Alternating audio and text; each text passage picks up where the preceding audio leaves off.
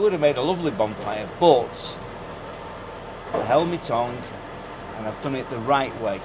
That's what I'm trying to do, the right way. Doing everything by the book. Some people blame me for knocking down it, which probably a hundred years ago was a beautiful building, but it's one and a half million pound it was going to cost to renovate it to its original Yeah. look. Yeah. And then what would I have? I would have a big, beautiful shop empty for the next 20 years because nobody wants a big shop in this location. That's the sad thing about it. Nobody wants this, you know, it's past its purpose. We need to move on. Welcome to another video of Walk on the Wild Side and I'm here in a very breezy Blackpool. It's first thing on a Monday morning. It's around about seven o'clock and tell you what, the weather's taken a bit of a nosedive. We had loads of rain last night.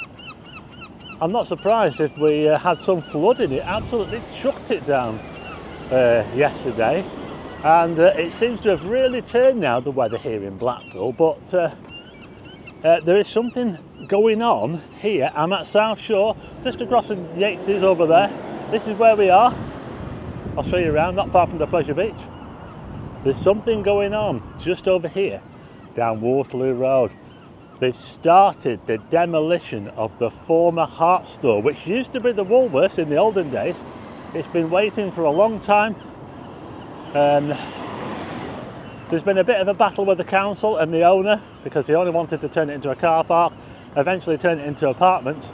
It's become derelict, it's been derelict for years and years. Looks really, really bad, and finally, they're starting today. So I'm just making my way over to uh, Waterloo Road now, and we'll have a little look at what's going on down here.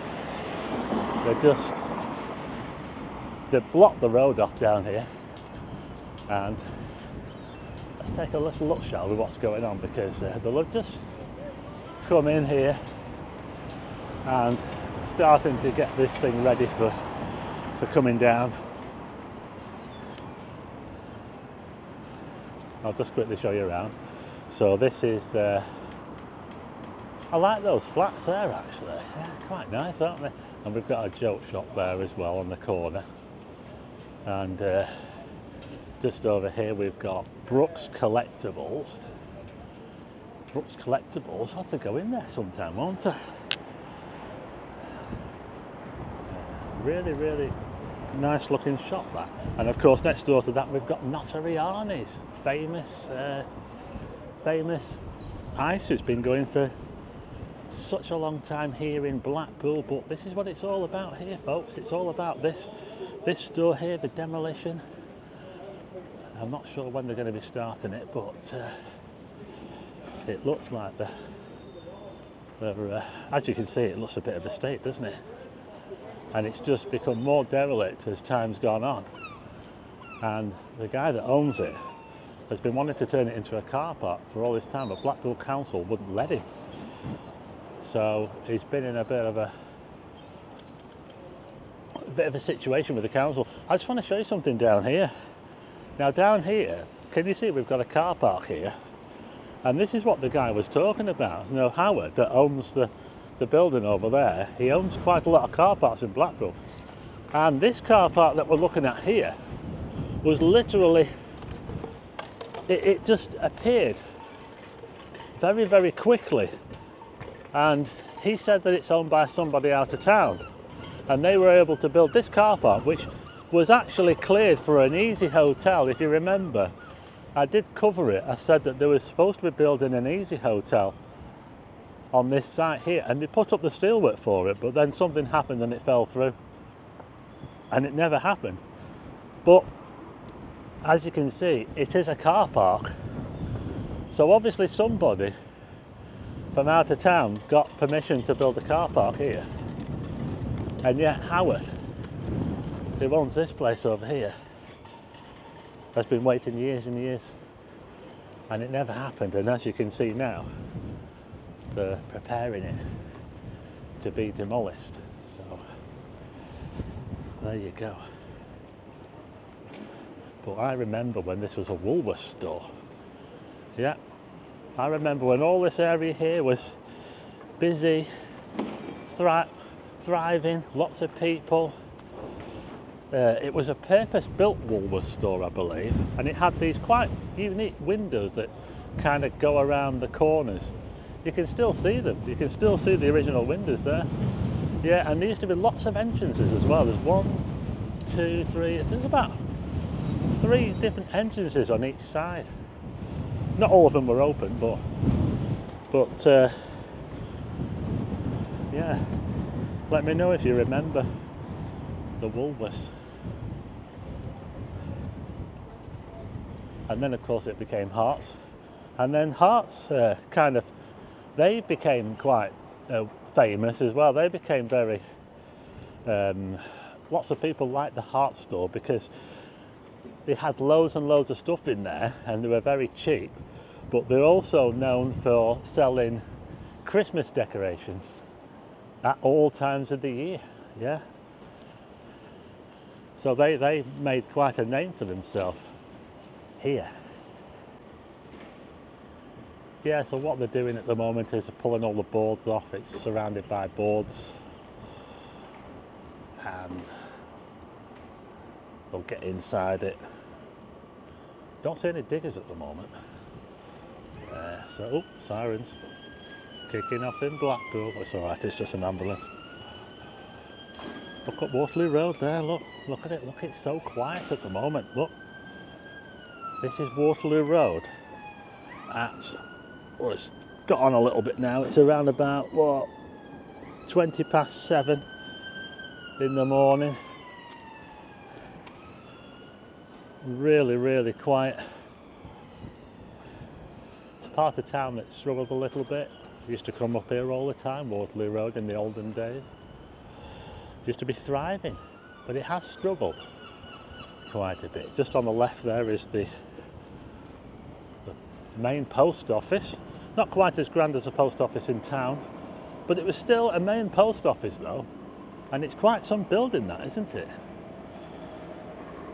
And just behind me, we've got a little street here called Gordon Street, and this we've got the pub here called the Bull. Look at that there, the Bull. It's a nice looking pub that, isn't it? The Bull. So, so they've just sort of turned up and they began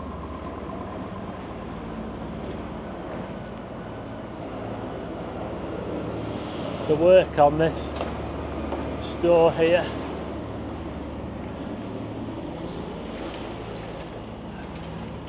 They're going to be taking it down today, I think. Starting on it today.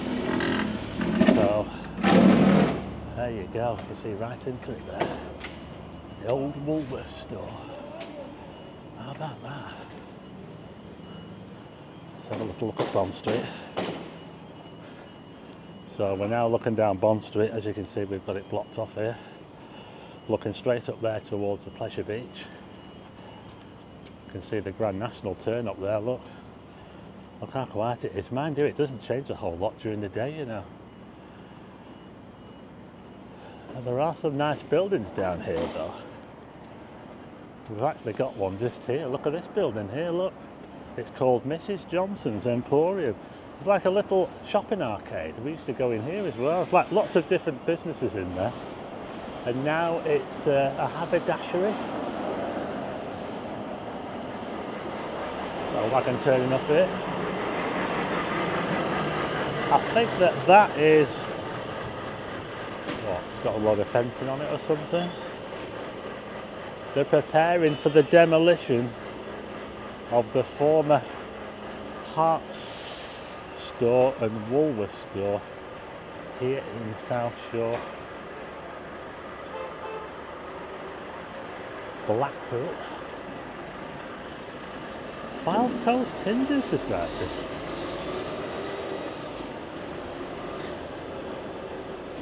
Never noticed that before. Community hub.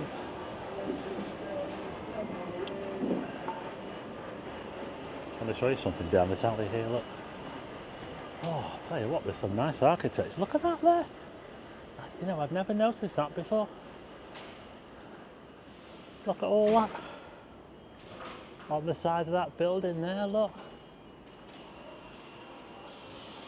That is amazing, isn't it? Just over here we've got a mural. The wizard and the fish. And the lizard or whatever it is here. So there you go. They're getting ready to demolish this store right here. It's going to be history very soon.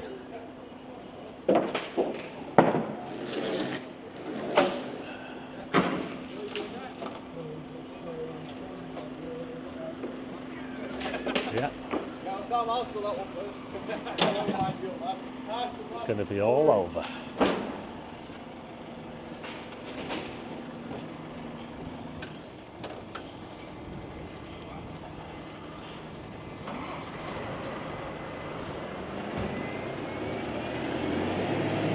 So take a look at it now. Because soon it's going to be history. And it's been so long, so, so long since uh, it be became empty. And I'm sure a lot of people around here will be glad to see it down because it's been an eyesore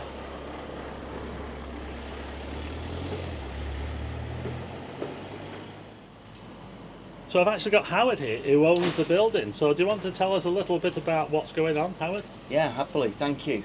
Um, today's the big day. It's like Christmas come early for me.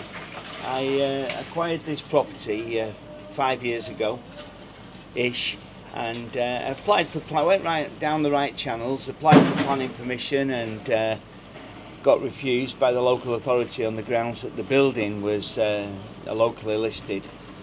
Unfortunately, uh, the building itself was in a very poor state when I bought it, and it hadn't had any maintenance done on it for at least 25 30 years. And then I come along, assuming that it'd be uh, get permission to knock it down, and then I've been through five years of uh, waiting. I've had hundreds of thousands of pounds invested in this building.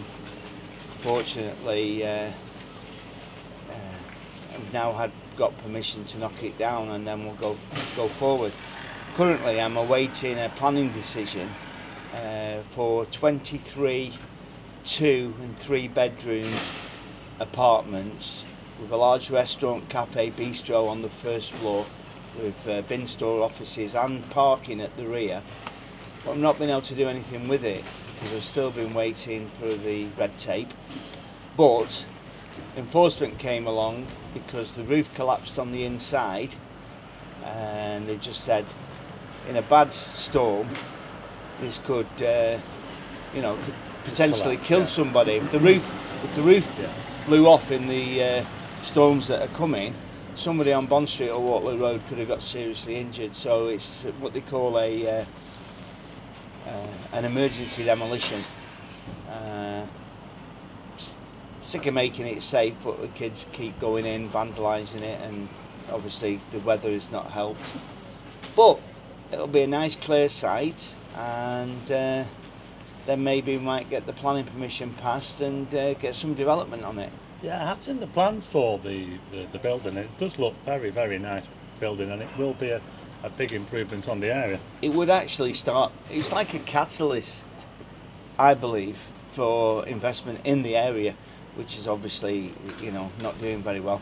If you look down Bond Street, you'll see 35, 45 derelict empty shops. Um, maybe there's 15 shops still surviving. And at one, te- one time, this was the best shopping street in, in Blackpool, the whole of Blackpool. Yeah, Well, I know- remember it myself. Uh, We used to come down here as kids and we, we Yeah. spent all day down here, you know, we were Yeah. in all the shops and the Woolworths, of course, which this was a Woolworths, wasn't it, before it became... Yeah, Oh. uh, for I think it was built about 1910, and uh, sadly, the people that took over it, Hartes, as they rented it from the owner, who was a very poorly chap, nothing got done. All these um, collapsed uh, mullions and the steel's corroded inside. It's all happened over a long period of time. Eh? A lot of people hold me responsible for it, and it's just 100% not true. I can't make movement in stone that takes 25, 35 years to happen, but everybody blame me. I mean, originally I applied for planning permission for a car park, and that was refused and it makes me laugh because just literally around the corner where the Easy Hotel is, first of May this year, a man's opened it as a car park, and um, that kind of gets me wondering. I mean, I'm not objecting to a car park. And it, well, I think it'll be great to see this building down because it has been such a nice one. I'm sure a lot of people around this area will be glad to see it down. Well, so, what I'm going to um, do in the temporary measure is make it nice, make it safe, and then we'll, we'll see where we're going on from there. But I came, I came down to take some pictures myself. How long do you think it might be before you get this um, permission or to build the apartments? Well, planning permission, when you put a planning application in, especially when you do a pre-consultation, which I have done, generally takes supposedly 26 weeks. And now I'm in approaching 19, 20 months uh, and I'm still waiting. I mean, unlike the chap round the corner who uh, kind of said he's not uh, asking permission, he's praying for forgiveness. So I went the wrong way. I asked for permission and uh, been refused a couple of times. Literally, what I should have done is I should have done what he did knock the building down, straighten it all up, make it into a car park, and then say, oh, sorry, I've done something wrong? But uh, no, I went hopefully the right way. I can't tell you, you know, how many people have actually said to me over the years, why don't you burn it down? Even people in very prominent positions. And I said, well, I could go that way, I could do that and spend me later years in prison if somebody gets injured. Uh, it would have made a lovely bonfire, but I held my tongue and I've done it the right way. That's what I'm trying to do, the right way. Doing everything by the book. Some people blame me for knocking down it, which probably a hundred years ago was a beautiful building, but it's one and a half million pound it was going to cost to renovate it to its original mm-hmm. yeah, look. Yeah. And then what would I have? I would have a big, beautiful shop empty for the next 20 years because nobody wants a big shop in this location. That's the sad thing about it. Nobody wants this. You know, it's past its purpose. We need to move on. You know. Yeah, I think that's right. Um, so, anyway, um, thanks very much for that. I'm yeah. still here for a while, so if you think of something, I'll grab you. John. So anyway, that was Howard there. There you go. Thanks, Howard. Cheers. Uh, so, um, he's uh, obviously given his story there. Uh, let me know what you think in the comments. Uh, but uh, I'm sure that uh, when this thing comes down, it's, uh, it's it's going to be a lot of memories, you know, of course, in there for people down the years. When it was a Woolworths, of course, and since it's been Hartes, because I know loads of people love Hartes, but there you go, it's going to be history. A piece of history after today.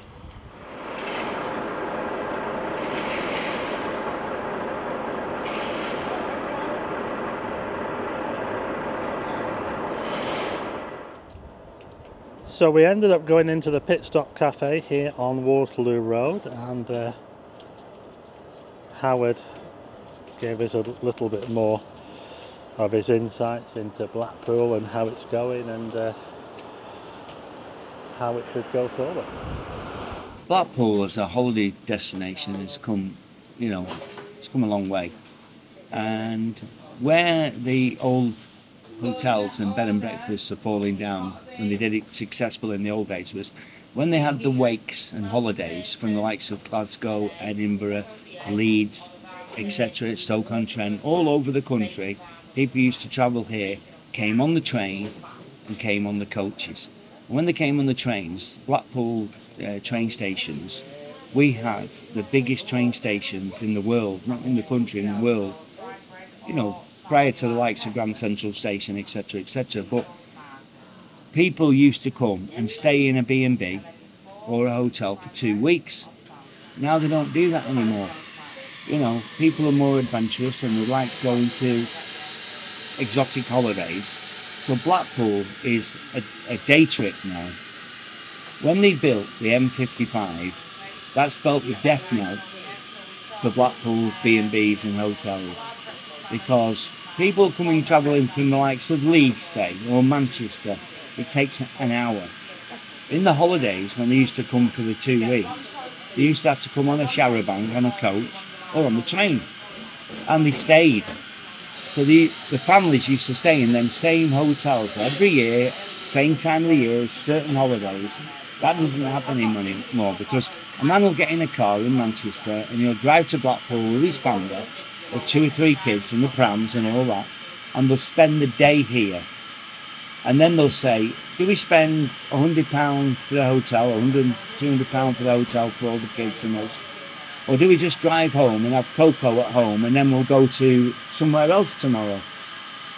And that's what they're doing. So when they built the M55, it effectively damaged the hotel business. But moving forward, Blackpool needs a lot of investment, right? And we've got to recognise that these B&Bs and these hotels are no longer fit for purpose. People want better.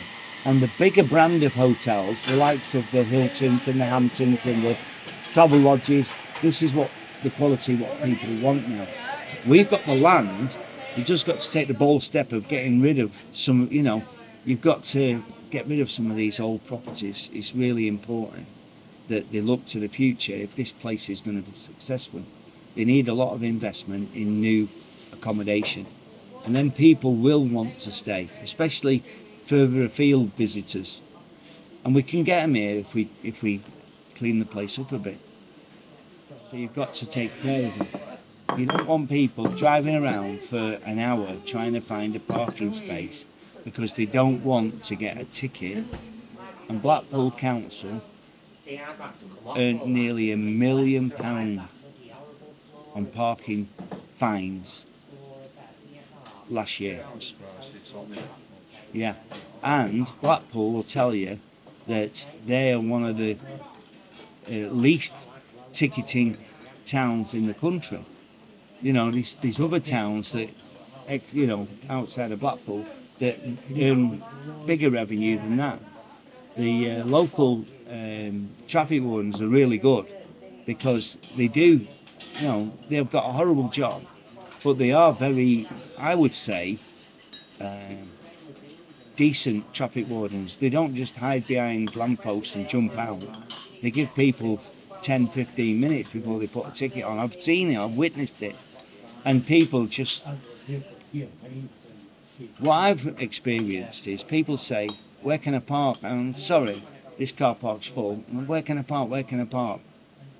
And they say, and when you say, you know, everywhere's full, which it is at busy times, air shows, bank holidays, illumination weekends, firework displays, brings hundreds of thousands of people in.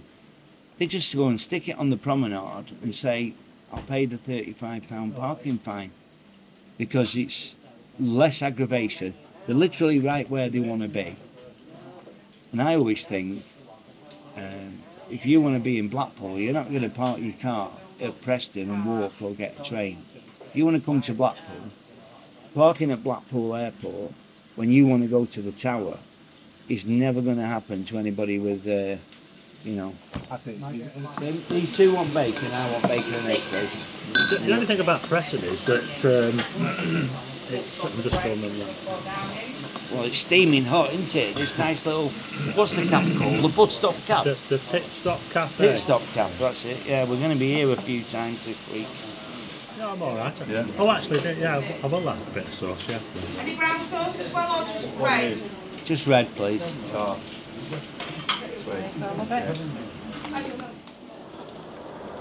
Right, so uh, I'm just leaving the uh, the Pit Stop Cafe now here on Waterloo Road in Blackpool. Back out into the wind again. I've just had a, a bacon bomb and a cup of tea there, treated by Howard. There. Very, very reasonable, really nice community cafe that now. It's worth looking at.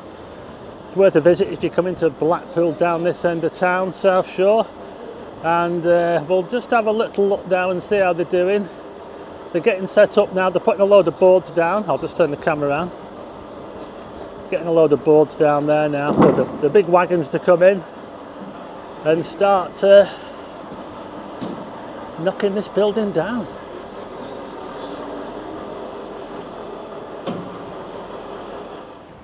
So there you go, it's the beginning of the end for this store here in South Shore, Blackpool on Waterloo Road. It started off life as Woolworths.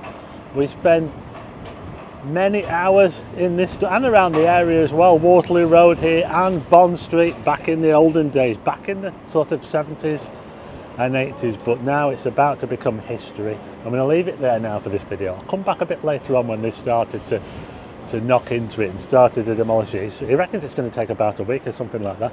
Anyway, I'll see you again on the next video. If you like this video, hit the like button and also hit subscribe and tick the bell for notifications of new videos and I'll see you again on the next one.